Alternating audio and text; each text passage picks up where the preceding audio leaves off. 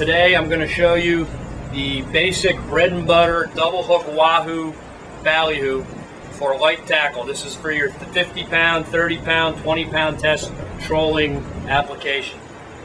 Several things you're going to need. A piece, a five foot, six foot section of number seven rigging wire for your leader material. A piece of copper wire a large size ballyhoo that's been gutted and cleaned out, a small islander lure, and two hooks.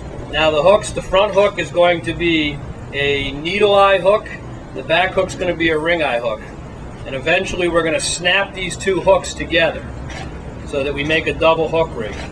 So you're going to want to have your front hook to be one size and your back hook to be one size larger. So the first thing I'm going to do is I'm going to take my forward hook, which is a, again, a needle eye hook. You only use a needle eye hook with wire leader material or cable.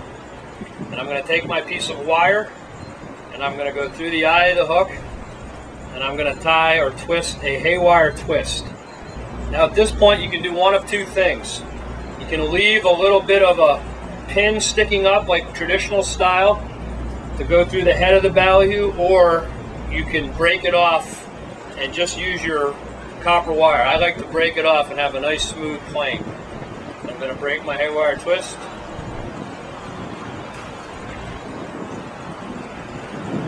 Now I have a haywire twist on a needle eye hook. Next thing I'm going to do is take my ballyhoo wire, my, my copper wire. Now, a lot of times you'll see rigs where the copper wire is attached to the loop of the leader or the haywire twist itself. I think that that is incorrect. You should always attach your ballyhoo wire to your hook. So I come up through the eye of the hook, and then I wrap the ballyhoo wire around the hook and itself a couple times so that it's on there nice and tight. So now we're going to take our front hook and we're going to kind of line it up, match it up to the ballyhoo we're using so that the eye of the front hook is just towards the back of the gills of your ballyhoo. And then we're going to take our back hook and we're going to measure where that back hook is going to sit in the bait as well so that we have an idea of where to put our slits. So I got that. I'm going to take my ballyhoo, I'm going to turn it over. Slow just that. I'm going to remove a couple of the scales so I can get a good puncture with my knife. And I'm going to make a nice straight slit in the front of the ballyhoo. And again, I'm going to take my back hook and I want to estimate where that hook's going to come out. And I want to line it up on my bait like that. And then Take my knife and again remove a couple scales to get started. And then I can make another slit in the back of the bait. The first thing I do is I take my forward hook and I rig it just like I normally would rig a traditional ballyhoo. I'm going to go through and just leave it just like that. I'm going to bring that back hook up towards the front hook. I'm going to line them up and I'm going to actually go through the eye of the back hook with my front hook. Now I'm going to snap that hook in place, bring everything up into the bait.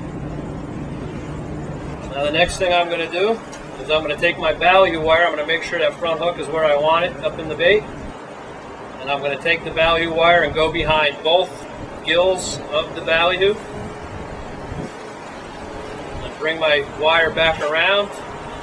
I'm to go through the eyes. You can take the eyes out if you want, if you're rigging a number of baits and you're worried about time or you don't want your baits to spin, you can take your eyes out. I like to leave my eyes in, especially if I'm only rigging a few baits. I take my time and I have no problem with spinning baits. And I've never seen a ballyhoo swimming in the wild without eyes, so I like to leave the eyes in. I go through the eyes, and back around and up through that little soft spot in the top of the ballyhoo's upper lip. And then pull that through. Make sure everything's nice and tight. And then simply wrap my ballyhoo wire up the length of the bill, a few wraps, break off my bill, continue to wrap with the wire going straight down the center of the ballyhoo's bill. Now we have our basic ballyhoo, double hook ballyhoo, just like that. The last thing we're going to do, we're going to go to the other end of our leader. We're going to take our small Hawaiian eye.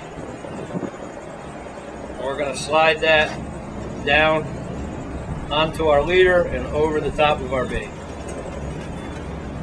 There is your com completed bait. Basic double hook ballyhoo for light tackle wahoo fishing.